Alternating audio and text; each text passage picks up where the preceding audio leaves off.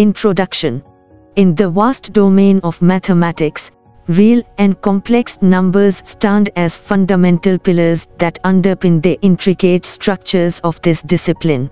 Real numbers, encompassing familiar entities encountered in our everyday lives, and complex numbers, with their unique properties and applications, provide a comprehensive framework for understanding the mathematical universe. This chapter aims to explore the rich tapestry of real and complex numbers, unveiling their characteristics, interconnections, and profound significance.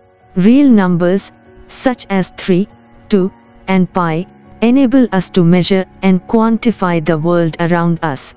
Positioned on an infinitely stretching number line, real numbers find their place in both positive and negative directions. Real numbers encompass two primary classifications, rational and irrational numbers. Rational numbers, akin to the gentle waves caressing the shoreline, can be expressed as the quotient of two integers, such as 1st February or 5-3. On the other hand, irrational numbers, resembling the powerful surges crashing against a rocky coast, cannot be expressed as fractions and possess infinite non-repeating decimal representations.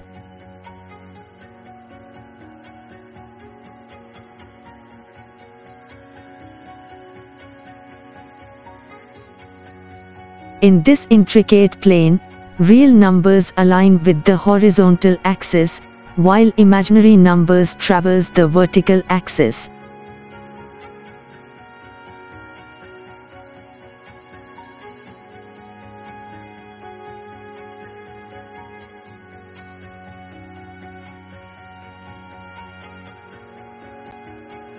The intricacies of complex numbers Venturing into the captivating realm of complex numbers reveals a multidimensional landscape filled with new dimensions and possibilities. Complex numbers extend the notion of real numbers by introducing the imaginary unit, represented by the symbol i, defined as the square root of 1. The imaginary unit initially perplexes but holds tremendous power in solving intricate mathematical problems. To conceptualize complex numbers, envision an expansive plane known as the complex plane, where each point corresponds to a unique complex number.